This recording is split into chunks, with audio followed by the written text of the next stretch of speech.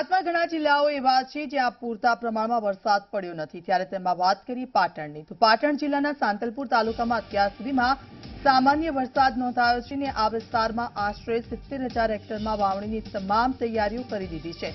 પણ વરસાદ ખેંચાતા ખેડૂતો ચિંતામાં મુકાયા. આ વિસ્તારમાં અત્યાર સુધીમાં માત્ર દસ ટકાથી પણ ઓછું વાવેતર થયું છે.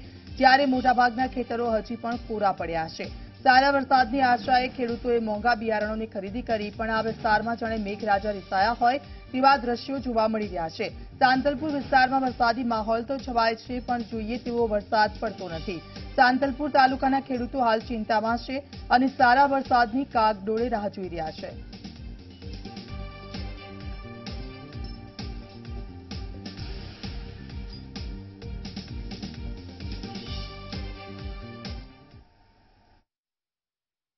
વરસાદની જરૂર છે બરાબર?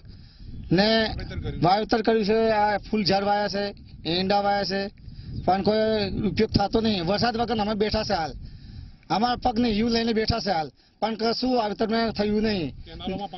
અને છે? પોણી આવતા નહીં. ને વરસાદ આવતો નહીં. કીધી રીતે અમે વાવેતર કરીએ એ અમારું મન જોવાનું છે. કેટલા ખર્ચા? ખર્ચા તો બે ત્રણ હજાર રૂપિયા જેવું થયું બરાબર? ને પાંચ છ હજાર રૂપિયા જેવું બીજું થયું. એટલે વીઘે હા.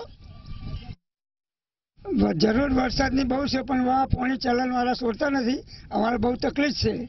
પાણી આવતું નથી ને અમે વાવેતર કરી શકતા નથી. કપાસ ઘાસ બધું વાવીએ છે પણ કોઈ ખેતી અમારી સારી થતી નથી.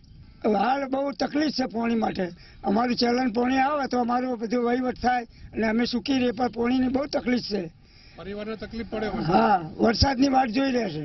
તો અમારી ખેતી પાકે ને કોઈ ખેતી પાકે નહીં. કેટલા ખર્ચા કર્યા? ખર્ચા તો ખાસો ચાર પાંચ લાખ રૂપિયા ખર્ચો થઈ ગયો. વરસાદ નથી આવ્યો એના કારણે અમે કપાસ વાયો બાજરો વાયો પણ એમાં કોઈ ભલી વાર આવ્યો નથી બરાબર? હવે અમને ખૂબ નુકસાન પડ્યું છે.